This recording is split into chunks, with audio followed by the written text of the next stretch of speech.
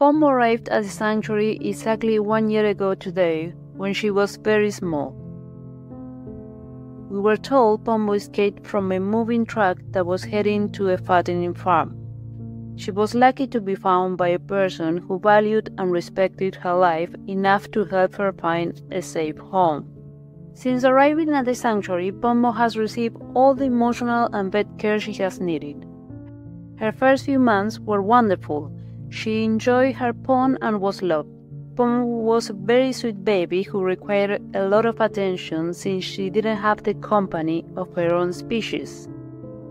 Until Dario arrived, an even smaller baby. Both of them had the luck of escaping the cycle of consumption at the same time creating a beautiful bond.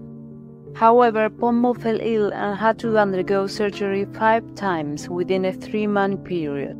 In fact, she returned to the sanctuary with a treatment that did not ensure her survival. They made us prepare ourselves mentally for Pombo's departure. We didn't give up. We spent about three months providing vet treatment here at the sanctuary. With love and perseverance, Pombo pulled through, although she will always be at risk because she cannot undergo any more surgeries after having gone through multiple interventions.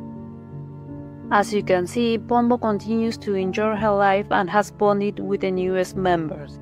Pombo has grown a lot and is passionate about enjoying her pond, whether it's for relaxation or play. We are very proud of her fight, her patience, and her joy despite having gone through tough times.